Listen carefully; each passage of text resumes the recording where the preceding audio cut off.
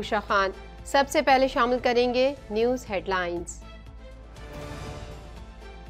Canada के मुख्तलिफ़ सूबों में जंगलात में लगी आग बेकाबू। जंगलात में आग की शिद्दत में इजाफे के बायस फौज की खदमात हासिल कर ली गई।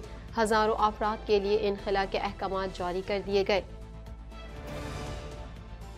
लिबरल काबीना इस हफ़्ते प्रिंस एडवर्ड आइलैंड के दारुल हुकूमत में इजलास मुनद करेगी। हाउसिंग बहरान वजरा के लिए मरकजी मौजू होगा। अरकान पार्लियामेंट 18 सितंबर को हाउस ऑफ़ कॉमन्स में वापस आएँगे। कैनेडियन हुकूमत का मेटा से न्यूज़ कंटेंट पर पाबंदी ख़त्म करने का मुतालबा। कैनेडियन हेरिटेज मिनिस्टर का कहना है कि मेटा ने अपने मफादात को अवामी तहफ़ से बाला तर रखने का फैसला किया। मेटा का कहना है कि कंपनी ने फेसबुक पर सेफ्टी चेक फीचर को फाल कर दिया है। समंदरी तूफ़ान जनूबी कैलिफ़ोर्निया से टकरा गया। जजीरा नुमा मैक्सिको में एक शख्स हलाक। अमरीकी नेशनल वेदर सर्विस का कहना है कि 48 घंटे में पूरे साल की बारिश होने का इम्कान है। कई इलाकों में सड़कें बह गईं, स्कूल भी बंद कर दिए गए। डोनाल्ड ट्रंप का पहले रिपब्लिकन मुबासे में हिस्सा न लेने का ऐलान। ट्रंप का कहना था कि आवाम पहले ही मुझे जानते हैं कि मैं कौन हूँ।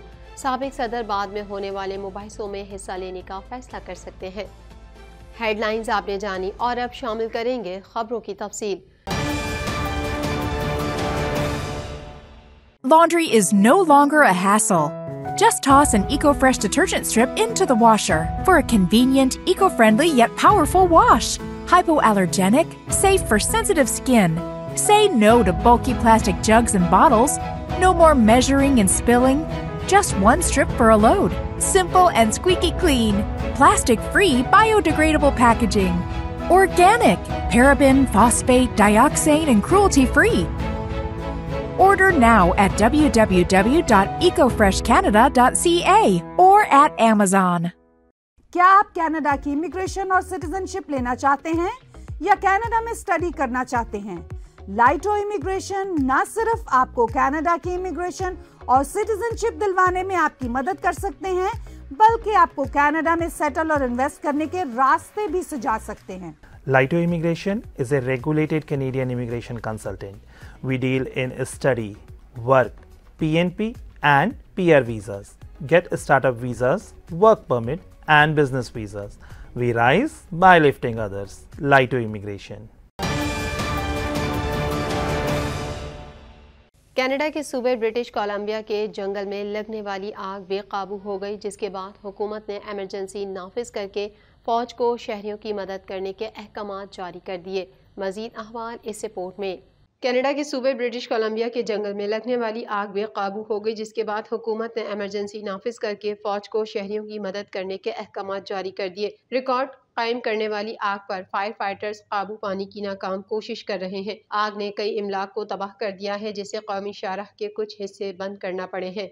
ब्रिटिश कोलंबिया सूबे के जंगलात में आग की शिद्दत में इजाफे के बायस फौज की खदमात हासिल कर ली गई हैं। कैनेडियन वज़ीर अजम जस्टिन टूडो ने फौज को हुक्म दिया कि वो मुतासरीन की इमदाद के लिए हर मुमकिन कदम उठाए। ब्रिटिश कोलंबिया के वज़ीर एमरजेंसी का कहना है कि पाँच हज़ार छह सौ जगहों पर शदीद आग जल रही है। इस वक्त हलाकतों और नुकसान का अंदाज़ा लगाना मुश्किल है। वज़ीर अजम जस्टिन टूडो का कहना था कि विफाकी हुकूमत शहरियों के इनखला के लिए फौज भेज रही है। तेज़ी से फैलने वाली आग के बायस हुकूमत ने पैंतीस हज़ार अफराद के इनखला के अहकाम जारी कर दिए हैं। मगरबी सूबे ब्रिटिश कोलम्बिया जंगल से फैलने वाली आग के शोलों से निमट रहा है। येलो नाइफ के छत्तीस हज़ार शहरियों को अलर्ट रहने की हिदायत की गई है। ब्रिटिश कोलम्बिया हुकूमत ने सूबे में एमरजेंसी नाफिज करके गैर ज़रूरी सफ़र पर पाबंदी आयद कर दी है। वेस्ट कैलोविनिया के fire chief justice Jason Boland ने उम्मीद दिलाते हुए कहा कि उन्हें गुजशत चार दिनों में आग पर काबू पाने के बाद कुछ उम्मीद नज़र आई है।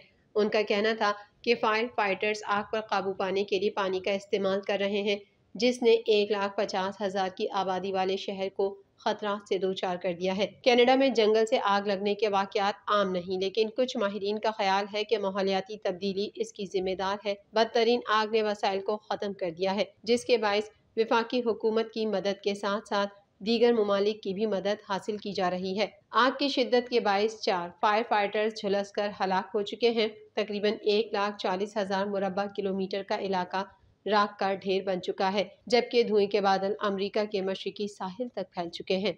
लिबरल काबीना इस हफ़्ते प्रिंस एडवर्ड आइलैंड के दारकूमत में इजलास मुनद कर रही है, क्योंकि ये पार्लियामेंट की अगली नशस्त के लिए तैयार हो रही है। मजीद जानेंगे इस रिपोर्ट में।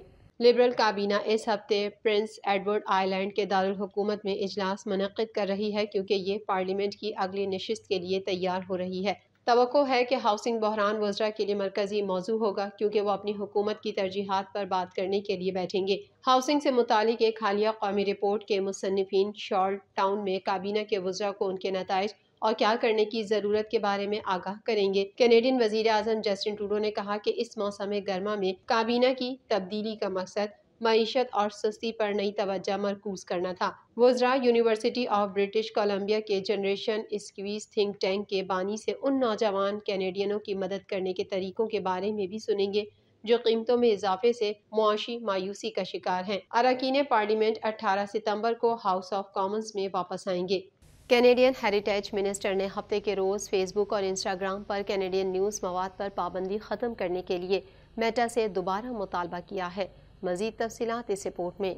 कनाडा के हेरिटेज मिनिस्टर ने हफ़्ते के रोज़ फेसबुक और इंस्टाग्राम पर कैनेडियन न्यूज़ मवाद पर पाबंदी ख़त्म करने के लिए मेटा से दोबारा मुतालबा किया है, क्योंकि हज़ारों कैनेडियन, ब्रिटिश कोलंबिया और शुमाल मगरबी इलाकों को तबाह करने वाली जंगल की आग से बचने के लिए अपनी कोशिशें जारी रखे हुए हैं। पास्कल सेंट ऑन्च ने कहा है कि सोशल मीडिया का बड़ा इदारा अपने दो बड़े प्लेटफॉर्म्स पर कैनेडियन न्यूज़ आर्टिकल्स को ब्लॉक करके लापरवाही से लोगों की जिंदगियों को खतरे में डाल रहा है। उनका कहना था कि फेसबुक, मेटा ने अपने मफादात को अवामी तहफ़ से बालातर रखने का फैसला किया है। एक कंपनी के तौर पर उन्हें अच्छे कॉरपोरेट शहरियों के तौर पर काम करना चाहिए और अपनी पाबंदी को वापस लेना चाहिए, ताकि हम इस बात को यकीनी बना सकें कि लोगों को इन मालूम तक रसाई हासिल हो जिसकी उन्हें ज़रूरत है। मेटा ने विफाकी कानून साजी बिल सी एटीन के जवाब में इस माह के शुरू में कनाडा की खबरों को अपनी सोशल मीडिया साइट्स पर ब्लॉक कर दिया था।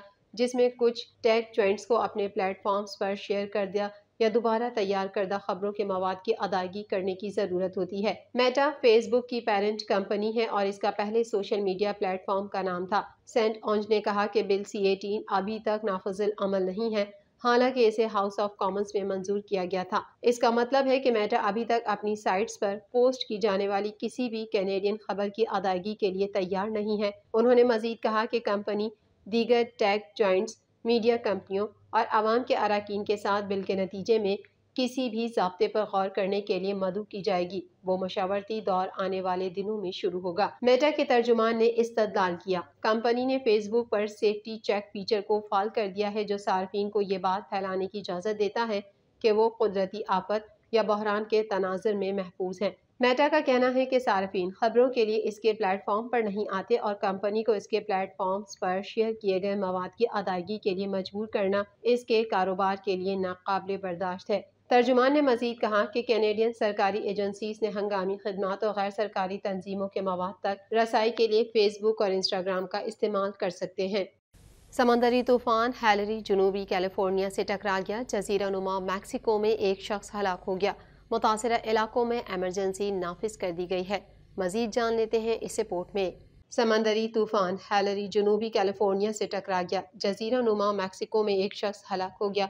मुतासर इलाकों में एमरजेंसी नाफिज कर दी गई है। अमरीकी नेशनल वेदर सर्विस का कहना है कि 48 घंटे में पूरे साल की बारिश होने का इम्कान और समंदरी तूफ़ान पेश गोई के मुकाबले में ज़्यादा तेज़ी से आगे बढ़ रहा है। गैर मुल्की मीडिया रिपोर्ट के मुताबिक समंदरी तूफ़ान जजीरा नुमा मैक्सिको और लॉस एंजल्स में तबाही मचाता हुआ जनूबी कैलिफ़ोर्निया पहुँच गया है। गवर्नर कैलिफ़ोर्निया ने मुतासर इलाकों में एमरजेंसी नाफिज करके नेशनल गार्ड्स को तलब कर लिया। तूफ़ान टकराने के बाद कई इलाकों में सड़कें बह गईं। स्कूल भी बंद कर दिए गए। आला हुकाम ने संगीन सूरत हाल से निमटने के लिए मजीद इकदाम की हिदायत कर दी। तूफ़ान जनूबी कैलिफ़ोर्निया के बाद शुमाली इलाके की तरफ़ बढ़ रहा है। दूसरी जानब महकमा मौसमियात का कहना है की तूफ़ान की वजह से शदीद बारिश और सैलाब का खदशा है। मैक्सिको के दूसरे सबसे बड़े शहर तेजवाना में ज़्यादा खतरे वाले इलाकों में लोगों से आर्जी पनागाहों में जाने की अपील कर दी। सबक अमरीकी सदर डोनाल्ड ट्रंप ने पहले रिपब्लिकन मुबासे में हिस्सा न लेने का ऐलान कर दिया। सबक अमरीकी सदर ने कहा कि आवाम पहले ही मुझे जानते हैं कि मैं कौन हूँ, इसलिए मुबासे में हिस्सा नहीं ले रहा। मजीद अहवाल इस रिपोर्ट में। सबक अमरीकी सदर डोनाल्ड ट्रंप ने पहले रिपब्लिकन मुबासे में हिस्सा न लेने का ऐलान कर दिया। सबक अमरीकी सदर ने कहा कि आवाम पहले ही मुझे जानते हैं कि मैं कौन हूँ इसलिए मुबासे में हिस्सा नहीं ले रहा। गैर मुल्की मीडिया रिपोर्ट के मुताबिक, सबक अमरीकी सदर डोनाल्ड ट्रंप ने ऐलान किया है कि रवा हफ़्ते होने वाले रिपब्लिकन के पहले प्राइमरी मुबासे में हिस्सा नहीं लूँगा। गुजशत रोज होने वाले एक पोल में ट्रंप को बासठ, जबकि उनके करीबी हरीफ और फ्लोरिडा के गवर्नर डी सेंटिस्ट को 16 और दीगर उम्मीदवार को 10 फ़ीसद हिमायत हासिल रही थी, जिसके बाद उन्होंने ये ऐलान किया। डोनाल्ड ट्रंप के एक मुशीक का कहना है कि सबक सदर बाद में होने वाले मुबासों में हिस्सा लेने का फैसला कर सकते हैं। टैग टीवी के पाकिस्तानी स्टूडियो से फ़िलहाल इतना ही। मजीद खबरों और अपडेट्स के लिए देखते रहिए टैग टीवी।